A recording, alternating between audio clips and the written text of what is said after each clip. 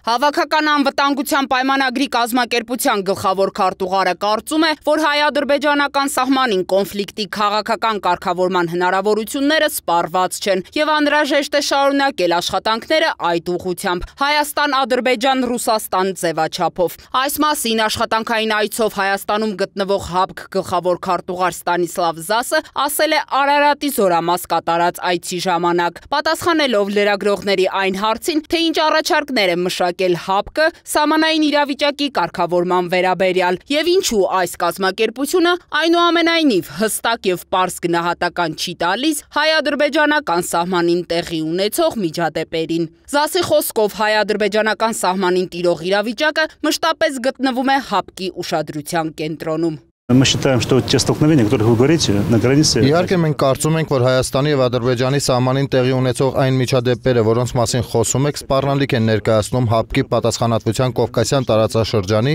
եւ իհարկե նաեւ կազմակերպության անդամ Հայաստանի անվտանգության համար։ Եթե խոսենք խնդրի լուծման ուղիների մասին, ապա մենք կարծում ենք, որ այս իրավիճակի քաղաքական կարգավորման հնարավորությունները սպառված չեն եւ իրականում դա ամենալավ տարբերակը կլիներ բոլորի համար։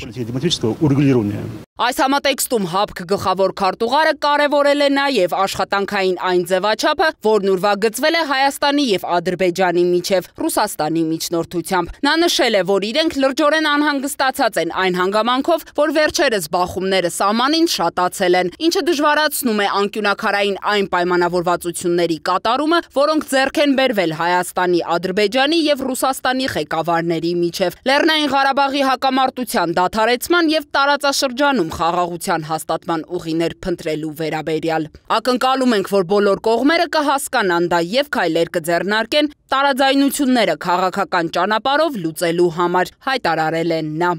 Այնուհետև Ստանիսլավ Զասը այցելել է նաև Եռաբլուր զինվորական պանթեոն, ծաղիկներ խոնարել ու իր հարգանքի տուրքը մատուցել Եռաբլուրում ամփոփված զինծառայողների հիշատակին։ Ձյանը Դավթյան, Ազատ լուրեր։